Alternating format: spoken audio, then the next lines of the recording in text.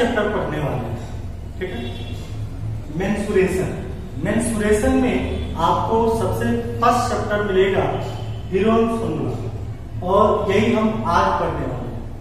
यदि आप हमारे चैनल पर नए हैं तो चैनल को ज़रूर सब्सक्राइब कर लें और बेल का आइकन भी प्रेस कर लें, ताकि जो भी वीडियो अपलोड होगा, वो आपके मोबाइल पर उसका नोटिफिकेशन जाएगा। ठीक है?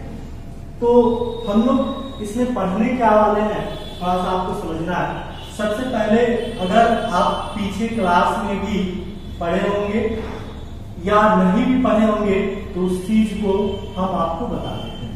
ध्यान देंगे बेसिक कंसेप्ट बेसिक कंसेप्ट में हम लोग बात करने वाले हैं सबसे पहले सेफ्टी ठीक है?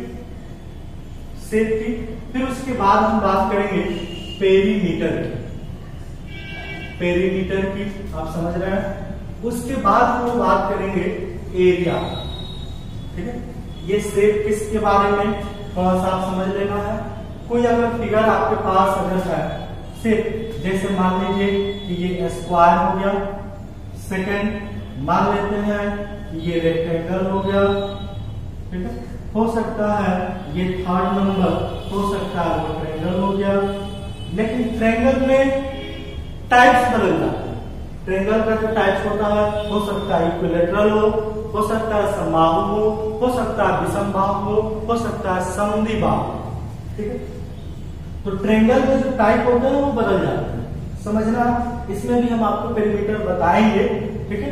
तो देखिए पेरीमीटर बेसिकली होता क्या है? कि पेरीमीटर कहने का मतलब ये होता है कि आप सीधे तौर पे समझें तो आप ये बाउंड्री देख रहे हैं। ये बाउंड्री देख रहे हैं बाबू? ये बाउंड्री जितने भी बाउंड्री दिया, अगर इस सबको अगर हम प्लस कर दे, क्या करते हैं प्लस कर दें। ऐड करते हैं यानी कि सम ऑफ़ बाउंड्री ठीक है? सम ऑफ़ क्या बाबू? बाउंड्री अगर सबको हम क्या कर दें? यदि प्लस कर दें तो जब प्लस करने से जो हमको वैल्यू प्राप्त होता है, वही पेरीमीटर कहता है ठीक है? यानी कह सकते हैं कि ये ट्रेंगल है, इसके बाउंड्री जो है, यदि आप उसको प्लस कर दें प्लस करने के बाद जो हमको प्राप्त होगा, वो क्या कहलाएगा? पेरीमीटर कहलाता है। ठीक है? जैसे मान लीजिए जब स्क्वायर है तो आप समझ रहे हैं कि जब स्क्वायर है तो इसका फोर साइड आर इक्वल यानी कि चारों भुजाएँ जो होंगी, वो क्या होंगी बाबू? बराबर होगी। चारों भुजाएँ क्या होंगी? बराबर होगी। ये सब चीज़ हमने पिछले क्लास में पढ़े भी हैं। ठीक है? तो आप देखिए, चारों भुजा को आप ऐड करिएगा, यानी कि A plus A plus A plus A चारों भुजा इक्वल होता। जब आप सबको ऐड करेंगे तो क्या होगा बाबू? फोर ए ये ए क्या है? ए फॉर एपल एपल नहीं होता है। ए फॉर ये ए क्या है बाबू? यहाँ पे साइड ठीक है? ये ए क्या है? तो साइड को इंडिकेट करता है। इसको इंडिकेट कर रहा है बाबू यहाँ पे? साइड समझ में आ रहा? है तो ए इज़ इक्वल टू हम क्या मानेंगे? साइड तो ए यानी कि फोर इंटू क्या हो जाएगा बाबू? साइड आप समझ रहे हैं कि फोर इंटू क्या होगा? साइड ये सब चीज़ें जो आप जानते हैं, ठीक है?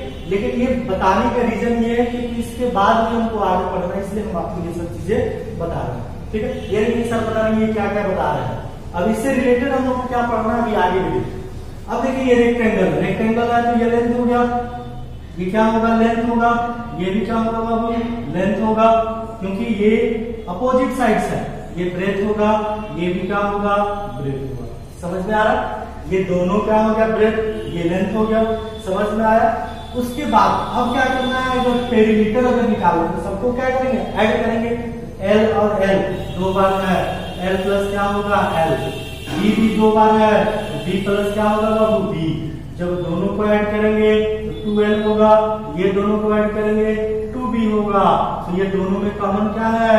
टू एल प्लस क्या हो गया? बी ये क्या हुआ बाबू?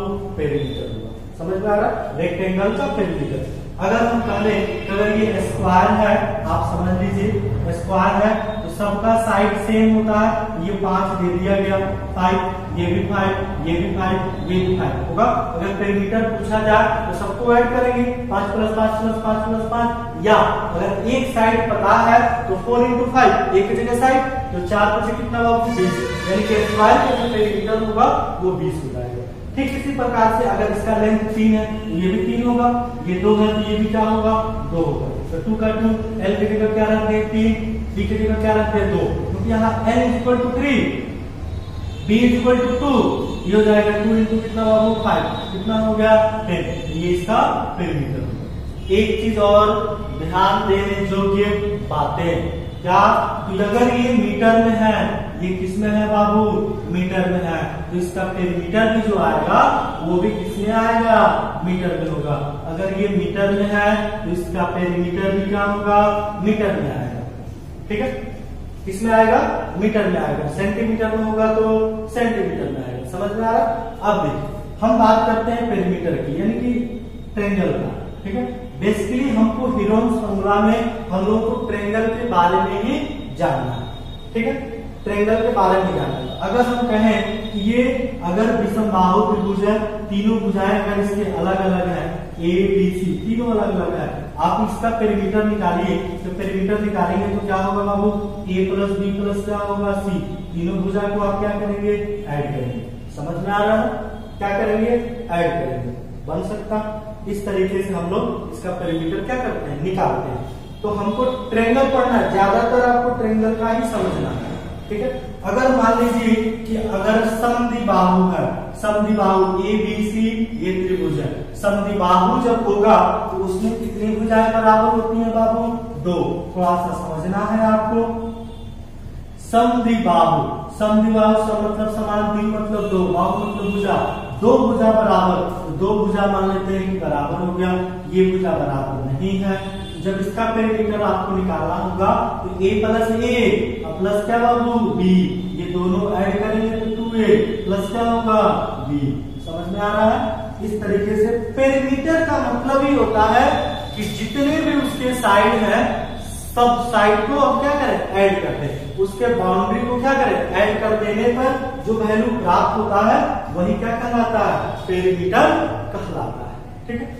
अब हम बात करते हैं एरिया किसकी बात करें बाबू? एरिया की। तो एरिया क्या होता है? तो आप देख रहे हैं जो अंदर, ये स्क्वायर जितना एरिया रिक्वायर्ड किया है, जितना जगह छेका है वही हमारा क्या कहलाता है? एरिया कहलाता है। वही हमारा क्या कहलाएगा बाबू? एरिया कहलाता है। समझ में आ रहा जो इसके अंदर है, वही हमारा एरिया कहलाता है। आप आप देख सकते हैं, ये सब क्या है बाबू? एरिया। ठीक है? ये क्या है? एरिया। तो अगर मान लीजिए, अगर इसका एरिया निकालना होगा तो हम क्या करते हैं? साइड इंटू साइड मल्टीप्लाई करते हैं। ए साइड क्या होगा तो ए ए इंटू क्या होता है? ए हो जाएगा। अगर इसका एरिया की बात करें रेक्टेंगल का तो एल इंटू क्या होता है बाबू? बी हो जाता है, ठीक है? अगर आप कहें, लेकिन बेसिकली हमको इसमें एरिया जो निकालना है ज़ीरो फॉर्मूला में, वो हमको निकालना है एरिया ऑफ़ ट्रेंगल हम किसकी बात करेंगे? एरिया ऑफ़ ट्रेंगल थोड़ा सा ध्यान देंगे। हम लोगों को ये पढ़ना है, इसमें, इस चैप्टर में हम लोग को एरिया ऑफ़ ट्रेंगल थोड़ा सा ध्यान देंगे। त्रिभुज का क्षेत्रफल।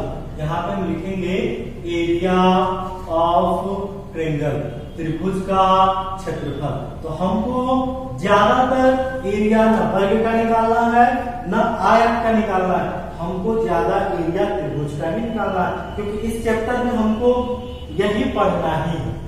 एरिया ट्रेंगल के बारे में। तो आप कहेंगे कि, सर एरिया ऑफ़ ट्रेंगल जो होता है हमने जानते हैं। हम तो पीछे क्लास में भी पढ़े हैं कि one by two into base into height one by two into base into height का यूज़ करके हम एरिया निकाल लेंगे। लेकिन ये फॉर्मूला यूज़ कहा होता है? इस चीज़ को भी आपको समझना ये एरिया का जो यूज़ होता है ना, वो ये जो एरिया है ट्रेंगल का, वो हम लोग जनरली रेक्टेंगल रेक्टेंगल तो ये नहीं राइट एंगल क्या होता है बाबू राइट एंगल यानी कि समकोण त्रिभुज में हम इसका यूज़ करते हैं।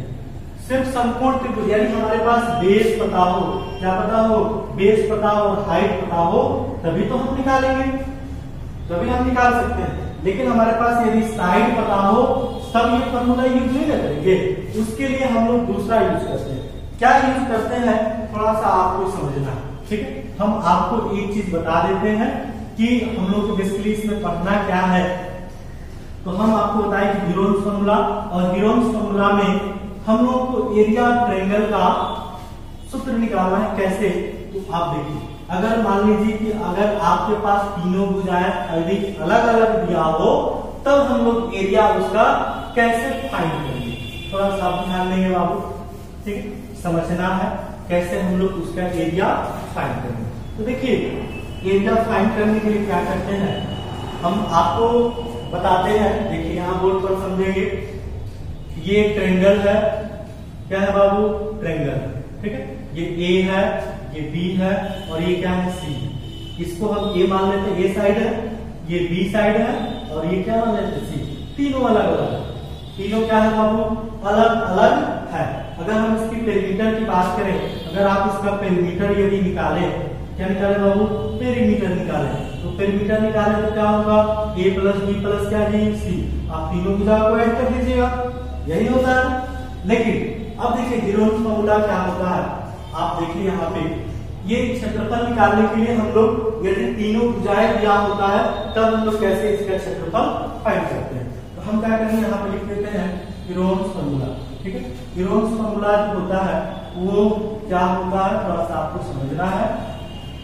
एरिया एरिया ट्रेंगल एबीसी माना है एबीसी लिख देते हैं, समझना है। बहुत ही सिंपल है, सिर्फ़ आपको समझते जाइए। एस होता है एस माइनस ए होता है, फिर एस माइनस बी होता है एस माइनस क्या जी?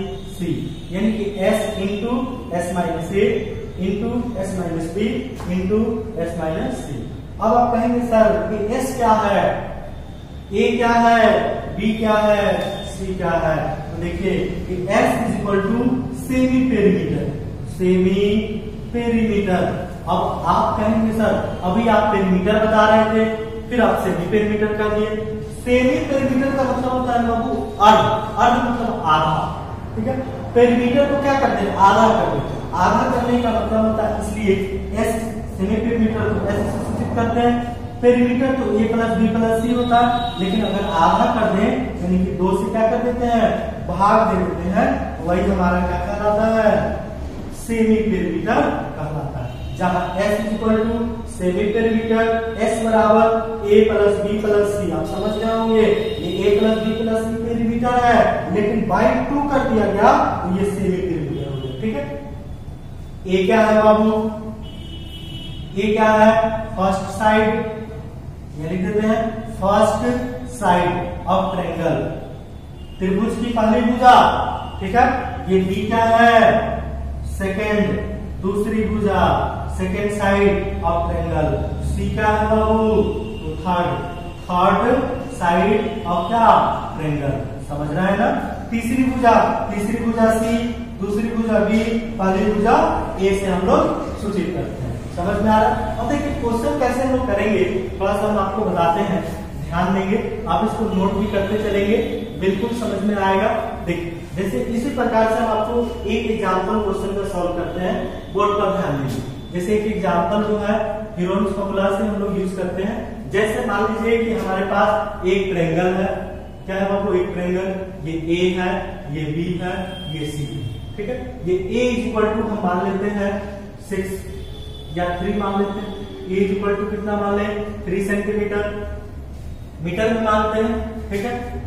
और बी इक्वल टू मान लेते हैं फोर मीटर, और सी इक्वल टू मान लेते हैं कितना? फाइव अब एक चीज़ हम आपको बताए थे कि आप पोलिनियर पढ़े थे, बहुपद पढ़े थे। तो आप क्या किए थे? Metre plus metre. यदि आप ऐड करते हैं तो टू मीटर होगा।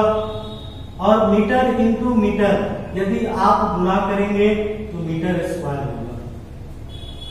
होता है, जब एरिया किसी का लोग निकालते हैं तो मल्टीप्लाई करके निकालते हैं। मल्टीप्लाई करते हैं तो मीटर स्क्वायर एरिया किसी भी चीज़ का हमको लिखना होता है, मीटर में होगा तो मीटर स्क्वायर या स्क्वायर मीटर में जिसको हम लोग कहते हैं। अगर पेरीमीटर निकालना होता तो मीटर होगा तो मीटर में आएगा सेंटीमीटर होगा तो सेंटीमीटर में आएगा। चलिए, हम देखते हैं, यहाँ पे लिख देते हैं ए इक्वल टू कितना बाबू? थ्री मीटर है। B equal to four metre c equal to क्या बाबू? फाइव मीटर ठीक है? फॉर्मूला तो ये होता है एरिया का, लेकिन पहले एस निकालेंगे। क्या निकालेंगे एस तो एस जब निकालेंगे तो एस बराबर बोर्ड पर ध्यान से देखना है क्या करेंगे। पहले ए बी सी लिख दिया गया। एस निकालेंगे। क्या निकालेंगे बाबू? एस एस की जगह a plus b plus c by कितना? टू होगा समझ में आ रहा है। ए की जगह क्या लिखते दें तीन लिख देंगे।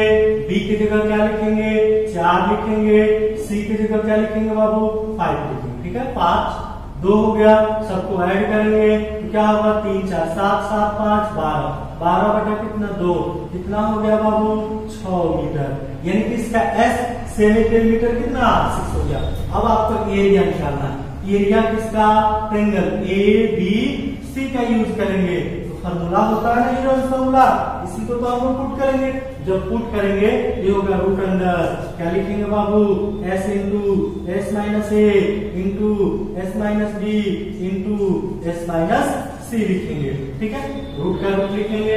ये क्या है बाबू? एस एस के जगह कौन सा वैल्यू रखेंगे? बताइए एस का वैल्यू आप निकाले कितना? सिक्स एस के जगह क्या लिखेंगे? सिक्स समझ में आ रहा? फिर इंटू है, एस की जगह क्या लिखेंगे? सिक्स। ध्यान से समझते रहिएगा। ये ए है ए की जगह क्या है बाबू? तीन हो गया। फिर इंटू एस की जगह सिक्स। ये क्या है? बी। बी की जगह फोर रखेंगे, ठीक है? तो ये एस है, एस की जगह सिक्स। ये क्या है? सी। तो सी की जगह फाइव रखेंगे। कोई दिक्कत? समझ में आ रहा है? समझ में आएगा तो आप कमेंट करके ज़रूर बताएँ कि हमको समझ में आ रहा है। नहीं आ रहा तो आप बताइए कि नहीं समझ ये देखिए रूट का रूट लिखेंगे, ये हो गया सिक्स का सिक्स ये दोनों को क्या हैं बाबू घटा देंगे। थ्री हो जाएगा, घटाएँगे तो थ्री ये घटाएँगे तो टू हो जाएगा। ये घटाएँगे तो कितना? वन होगा। अब आप सबको मल्टीप्लाई कर दीजिए। मल्टीप्लाई भी कर सकते हैं, या आप इसका फैक्टर भी कर सकते हैं। फैक्टर करेंगे तो थ्री का फैक्टर कितना होगा? टू इंटू थ्री सिक्स है थ्री है सिक्स तो टू इंटू थ्री थ्री का थ्री ही होगा, और ये हो जाएगा टू का टू अब आप देखिए।